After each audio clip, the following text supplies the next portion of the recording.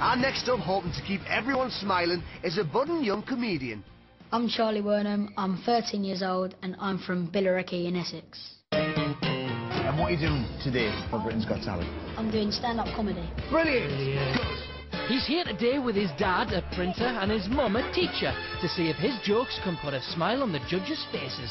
My family is so close to me, and I love them all very much, and they're always supporting me, and they're all here today to support me, and we just have fun doing it as a family. What's your dream? What's your ambition? Where would you like this to go for you? I like making people laugh, so making people laugh, Yeah. being on stage. If I won Britain's Got Talent, it would be the biggest thing that's ever happened in my life, and I want this so much, and I just want to just do the performance of my life.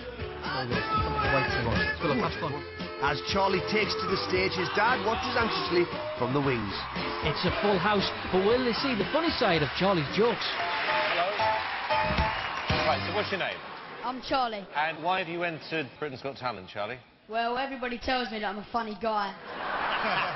Who tells you you're funny? My nan mainly. They always do. They always do. Do you think you're good enough to win Britain's Got Talent? I hope so. Yeah? Yep. Okay, well, off you go. Come on, Charlie. Confidence, honey. Good. First of all, ladies and gentlemen, it's a pleasure to be here tonight. I ain't had a very good day today. Oh. Why? I opened my front door this morning.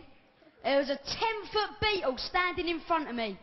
It punched me in the face and told me to get stuffed. Apparently there's a nasty bug going round.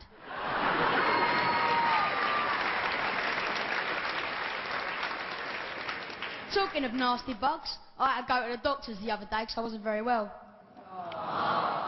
No, I was worse than that.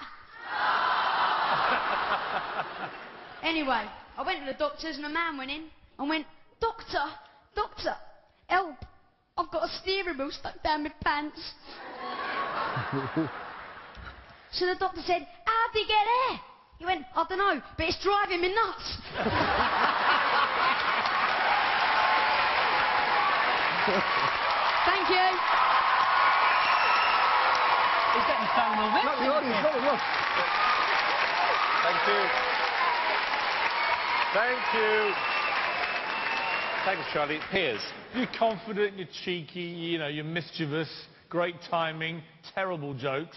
Um, but I love the Can't way... argue with that. I, know, I thought it was a, a really funny and confident performance. Well done. Thank you.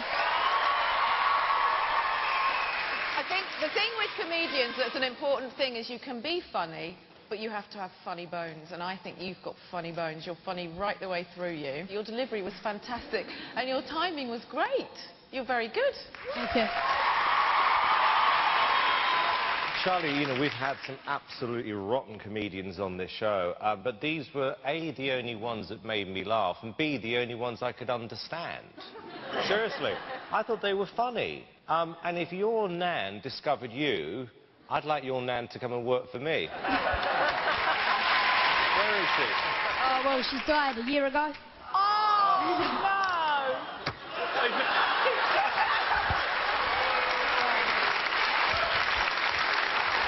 you winding me up? She, she died a year ago, and she always said I was funny. She Why are you smiling? so I made the big man cry. Well, your nan will be very proud of you, wherever she is, Charlie, because I thought you were terrific. Absolutely terrific. OK, Piers, yes or no? Charlie, it's going to be a yes from me. Amanda? Definitely a yes from me. Charlie? Three yeses. Thank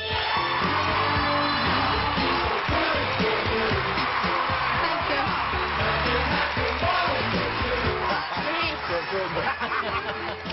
Well done there, well done. Good job, fella. How you feeling? Uh, really happy. though. Do you? Yeah. Right now. Shaking. Yeah, you are. Speechless now. I liked that cheeky sort of... Uh, Really he was cool. very cheeky cockney. Yeah, yeah, yeah, yeah. Yeah. After leaving the judges smiling, Charlie's laughing all the way to the next round.